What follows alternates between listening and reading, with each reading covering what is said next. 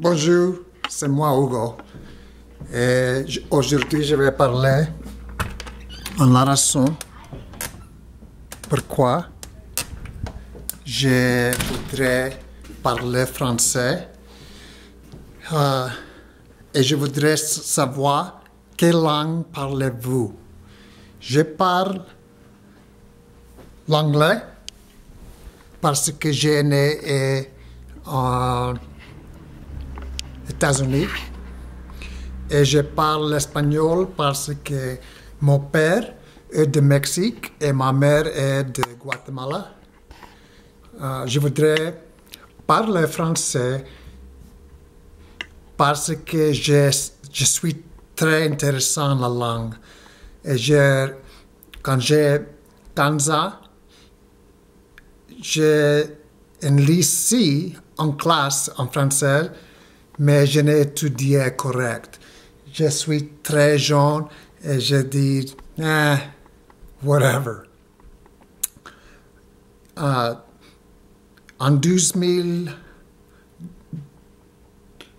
en 2012, j'ai acheté CDs, CDs et j'écoute la langue française quand je conduis mon voiture et j'apprends le français euh, un peu. Mais je n'ai pas quelqu'un que je peux parler. Et je regarde beaucoup de vidéos sur YouTube et j'ai acheté euh, quatre livres en français et je lis, lire le livre. Mais aujourd'hui, c'est mon premier jour que je veux lire mon livre et je vais lire mon livre tous les jours. J'écoutais quelqu'un dire quand tu ou moi lire le livre, je vais voir et apprendre vite le français. Quelle langue parlez-vous? Je suis très intéressé quelle langue parlez-vous et pourquoi tu parles cette langue. Et, quelle langue parlez-vous et quelle autre langue parlez-vous?